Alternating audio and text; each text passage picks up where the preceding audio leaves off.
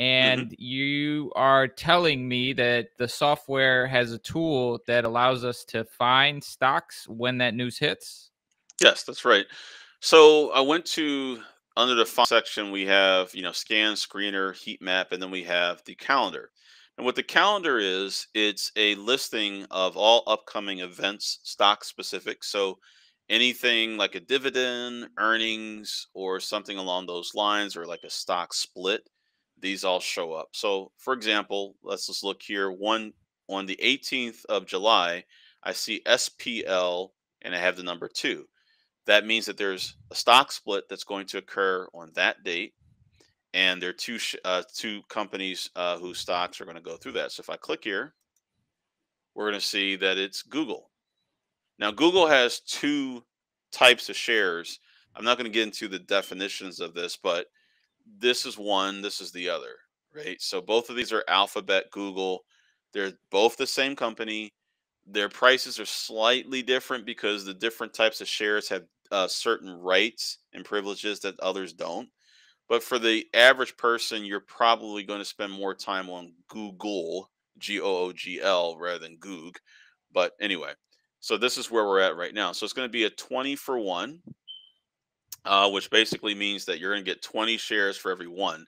Now, this is making sense uh, because these companies' shares are so expensive. And in order for people to really actively trade them, you got to have a smaller price per share. Uh, so currently, Google still has the good fundamentals. We did mention this stock before. Still looks good. Still looks like a great opportunity. So I would definitely say, folks, keep an eye on these two. They should get much more active once they do the split. Uh, we have the. Um, this is where the split actually. Let me correct something. This right here is when the split actually would be processed and this will be the first day that it should trade after the split. So on the 16th, it should be processed and done, and then on the 18th, it'll start trading at a smaller share, but same stock, just uh, smaller uh, price per share. Now we also have dividends, DIV. Dividends will be uh, when a company's uh, stock goes ex dividend, meaning that the dividend is paid out um, to everyone who's a shareholder of record for that time and all a dividend is a profit distribution. So if you're interested in taking advantage of that, like there's certain stocks that usually are pretty attractive for this. Uh, Comcast, for example, uh, Comcast is a cable company and it's very established. Uh, or J.P. Morgan, which of course is a bank. Uh, Gap is a, uh, a clothing store. So you have different types of company dividends.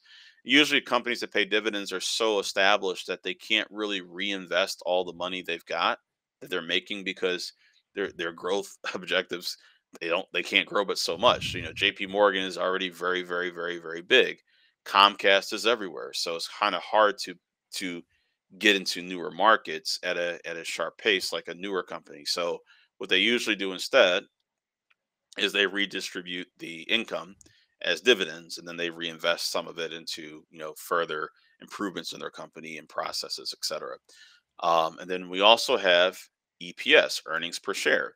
These are earnings. Um, um, these are earnings releases where the companies are going to release their earnings for the previous quarter to let everyone know how things are going.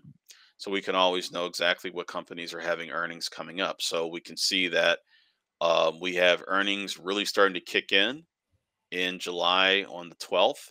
And after that, we've got earnings coming out every day going all the way through the month, all the way up until the 29th, with a huge amount of earnings being released uh, towards the end of the month.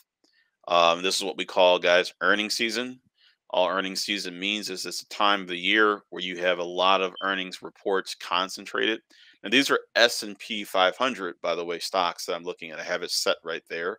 So it's only looking at companies in that, uh, that index. But if I go to switch it, I can go to all equities, I can go to all that are optionable. Let's say I have an option strategy that I use for dividends or earnings or something like or splits. I can go here and just look at optionable stocks.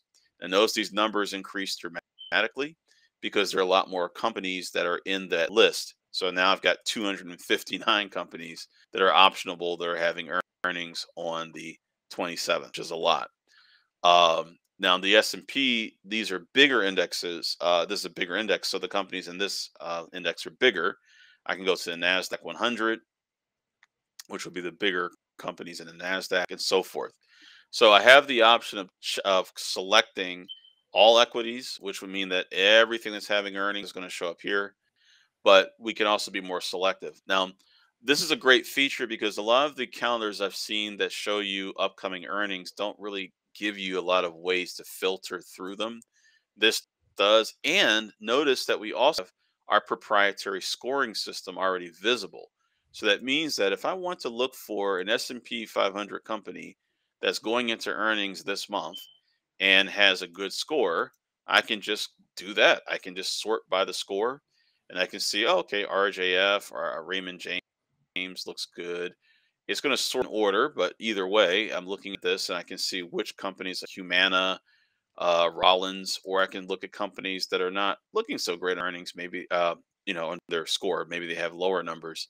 But either way, I can easily find something that fits what I'm looking for. I can sort by volume, I can sort by price.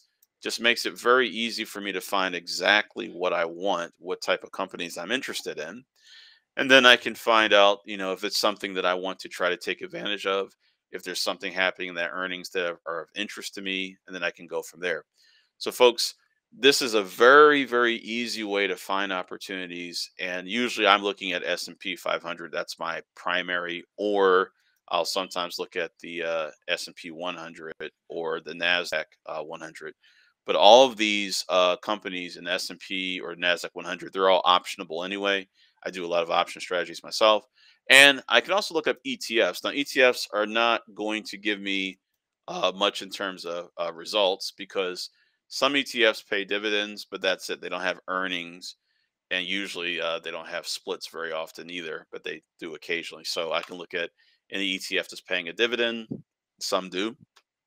Um, a lot of people like dividend paying ETFs because they're a group of companies and they just take the dividends from all the companies in the group. Um, so sometimes these can be pretty nice ways to generate some extra income by holding those uh, positions through dividend and then getting out after.